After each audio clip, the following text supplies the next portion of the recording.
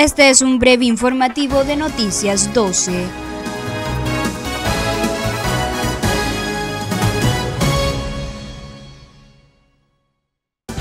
El sector Zona Franca busca nuevo acuerdo sobre salario mínimo.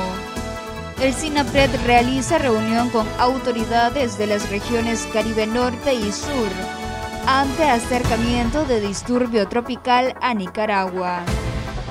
El Ministerio de Salud reporta disminución de casos de COVID-19.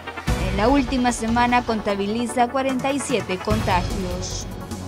Diputados de la Asamblea Nacional aprueban préstamo con el Banco Centroamericano de Integración Económica para ampliar y mejorar las carreteras.